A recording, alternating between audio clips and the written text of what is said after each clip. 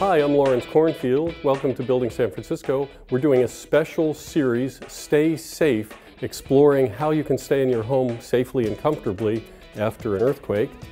Let's look at some common earthquake myths.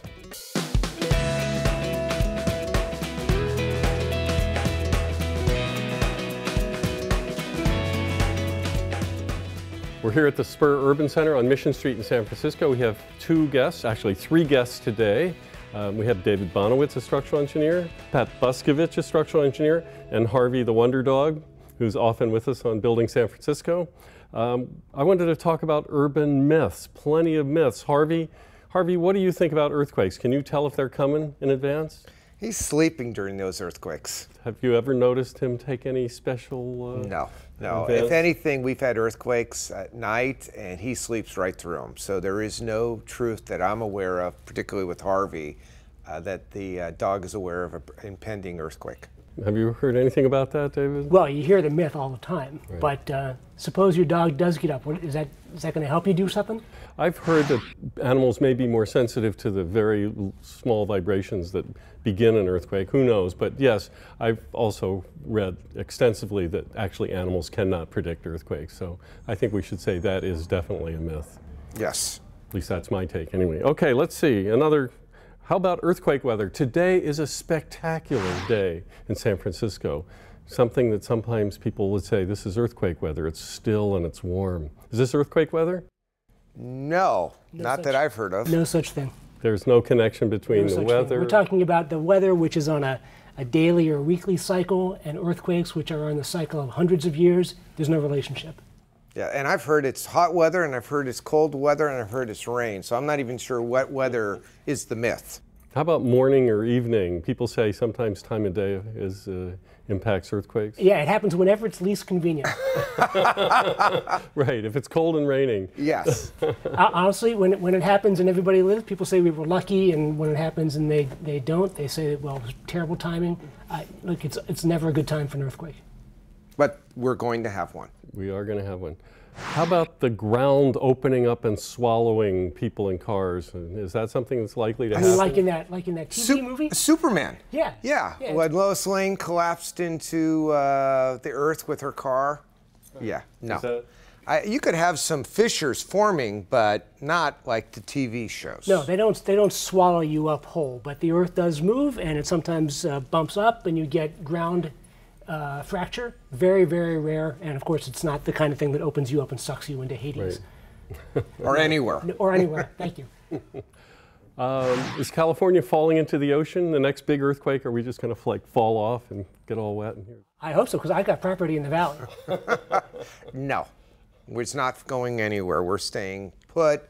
Uh, we will have a lot of damage, but the, the storylines that California will disappear in the ocean and Arizona will become beachfront properties not real. What's actually happening is that the coastal part of California is moving, the southern part of California is moving north so that it's not falling off, it's coming up from the south to the north, mm-hmm. the but, west, but the west side of the fault. You'd have to be able to invest over the million year cycle, not weeks or years, but millions of years. But maybe a million of years from now, part of LA will be up in the Bay Area for better or worse. Yes. okay, here's a really tough question, actually, that people say all the time. Those other ones weren't tough? This, those were easy. This is a real challenge. Do the smaller earthquakes relieve stress on a fault so that the larger earthquake will be less strong or they'll be less frequent? Theoretically, Yes, but the amount of the amount of energy that's released in each small earthquake that does no damage is so small. You need many, many of those to, to add so up. So effectively, not effectively not enough to change what's actually going to happen in the big one we're expecting. Yes, I think you would probably have to have maybe hundreds of magnitude four earthquake to equal one seven.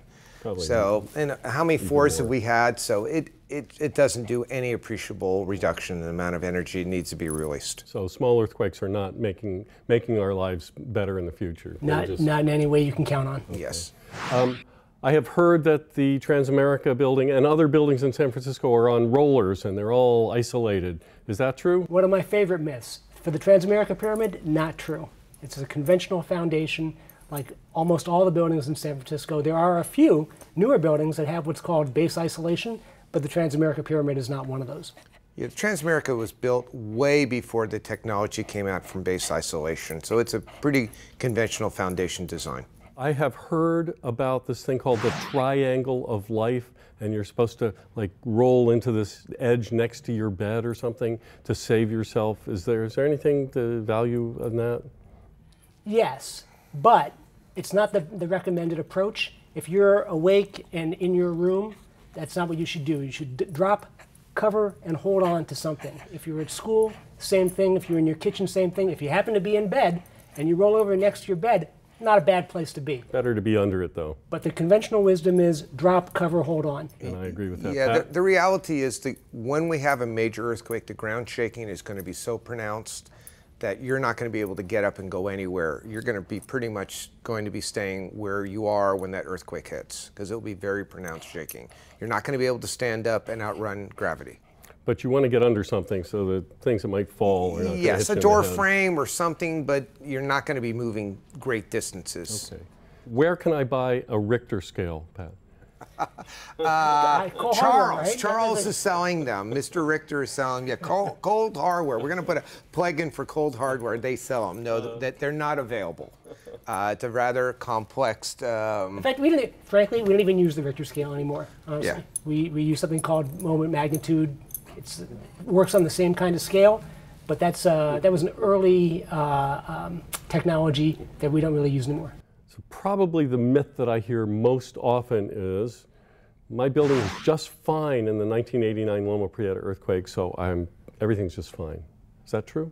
No, the Loma Prieta earthquake was a significant earthquake in Santa Cruz due to attenuation or the distance we San Francisco is away from Santa Cruz, the ground accelerations here was quite moderate and the duration was very moderate. So anyone who believes that they survived a big earthquake and Loma Prieta a big earthquake and their building has been tested is sadly mistaken. Now, what we're planning for is the bigger earthquake closer to San Francisco, maybe even the big earthquake on the Hayward Fault, totally independent much stronger than the uh, Loma Prieta earthquake. In San Francisco, it'll feel much stronger than we felt here due to 1989. So people who were here in 89, they should say three times as strong in terms of the shaking and twice as long.